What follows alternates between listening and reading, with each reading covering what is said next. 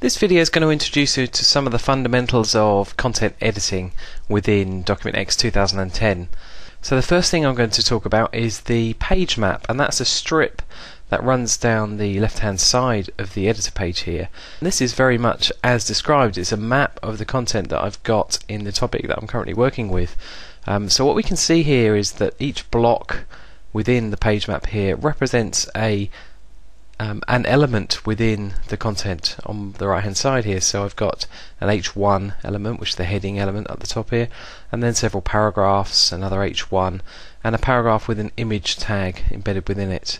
There's a couple of great things that the page map allows me to do. The first one is if I hover over any of the elements here, I can get a quick preview of the content, but I can also see the XHTML source that sits behind that tag. So that's a really quick and easy way to see um, at a glance what the content is behind that particular element. Um, what I can also do is reorder using the page map and drag and drop. So for example, if I wanted to move this header, um, this heading section rather, down below the two paragraphs that follow it, I can just grab it, drag it, and drop it using the page map here, and it will reorder to the place that I wanted it to be. The page map shows the currently selected uh, element as orange so you can always see exactly where you are within the document. Something you may find yourself doing quite often is uh, creating tables in content to organise and structure information within your topics. Um, so it's quick and easy from the Document! X content editor. Uh, what I'm going to do is create a new blank paragraph where I want my table to be inserted and I'm going to use the insert table command on the ribbon here going to select on the drop down the number of initial rows and columns that I want to be created. Click. And this dialog allows me to select some style options for the table and for the cells within the table initially. Um, but I'm just going to go here with the default style for the table. And there we are, the table's being created and inserted in the content and I can start typing away in the individual cells. Now there is a separate movie all about table editing. There's a bunch of different table design commands, um, ways of selecting multiple um, table cells, so on and so forth for tables specifically. So I'd recommend that you have a look at that video when you have a chance. So I'm just going to cover the basic functionality here of actually creating a new table in our content. So a fundamental activity of working in the content editor will be applying styles to the content that you create. Um, you know, commonly to apply emphasis to particular words or to enlarge the font size or a range of different things depending on how you want to style your content. So the Document! X content editor has a range of different functionality for styling your content, um, and that ranges from basic formatting such as bold and italic through to styling. So I'm just going to start with the basics. I'm going to mark a couple of words uh, in my content here as bold. So I'm going to select these two words here and what's happened here is as I selected these two words and then moved my cursor slightly upwards, I get what's called the mini toolbar. Um, and that contain, contains some of the common formatting commands that I might want to um, get access to. I can get access to those same commands from the ribbon and also from the right click um, toolbar that appears but it's a neat way of making that functionality available to you automatically so just to go through that once more I've highlighted the content drifted my cursor up slightly and the um, mini toolbar pops into view. So I'm just going to make that content to bold. And on my ribbon I can see that's highlighted as bold. So I can remove the bold just as easily as applying it. So we've got bold, italic, underline um, as the common sort of styles to apply there. And we can also apply paragraph styles to the current paragraph. So for example if I want to right align, middle align or left align, those are available from the ribbon bar there.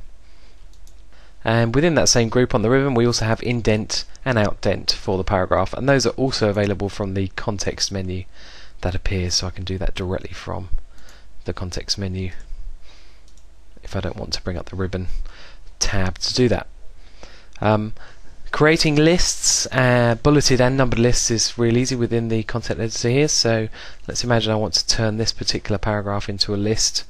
I would just select uh, the numbered list item and then to create additional list items I just need to press enter at the end of a, a list item and it will automatically create the list items beyond that one for me. And if I want to create a second level of list, so an indented list below this one, all I need to do is use the existing indent command and it will automatically change the numbering scheme to an indented list.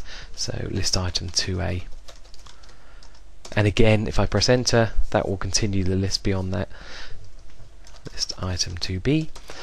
And using outdent will allow me to go back to the previous hierarchical uh, list numbering. So creating a set of structured list items is really easy using a combination of the list commands and the indent and outdent commands. So going beyond the basic formatting of bold, italic, underline, um, X includes a rich set of style support that, that's built on the web standard CSS um, cascading style sheets styles technology and that's really accessible within your content editor here and is really reusable throughout the project um, as styles are stored in a, a CSS style sheet file within your project and can be reused between different topics. So I'm just going to imagine that I want to create a special style um, for some particular terms that I'm um, calling out in my content here. So let's imagine I want to make those appear in a sort of light grey colour um, and slightly italicized within my content here. So the first thing I'm going to do is use the style picker on the right hand side here and I'm going to click the create a new style rule button. And that brings me up a dialog in which I can define this new style that I'm going to create. And the first thing I'm going to do in here is to give the style a meaningful name so that I can recognize it if I want to reuse it elsewhere. So I'm going to say term as the name and as I mentioned what I want to do is to set it to an italic style font and I'm going to make it a slightly different color than the normal text so I'm going to make it a grey color. In fact I'm going to customize that and make it slightly darker I think.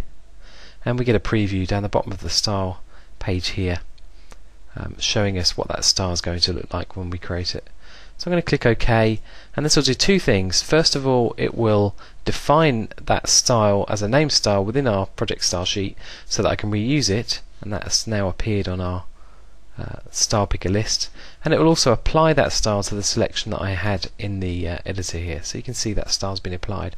So if I then want to go ahead and apply that style to other text I can just click on that existing style name that I've already defined in the style picker and apply that to different places. So you can see that's a really quick and easy way to define both a new style for a particular piece of text but also to make that reusable as a named style that I can reuse elsewhere. So even in other topics within the same project or within the content file editor I can reuse that style. The final fundamental of content editing that I'm going to cover in this video is linking between topics. So if you have a uh, topic which contains some information that's related to another topic elsewhere in the project, it's very common to want to create a hyperlink to that other topic. I'm going to create a hyperlink in a new paragraph within my content here. Um, and the way I can do that is from the hyperlink button on the uh, toolbar here and you can see from the tooltip there there's also a shortcut key we can use control K so I'm going to go with that and I'm going to select on the link designer dialog here the second topic in my project, which is the RSS syntax topic. Click OK, and there we can see the hyperlink has been created. That concludes this short video, which has been a short introduction to some of the fundamentals of content editing, including an introduction to the page map, the element bar, how to create tables, work with lists, um, apply some basic formatting styles, and linking.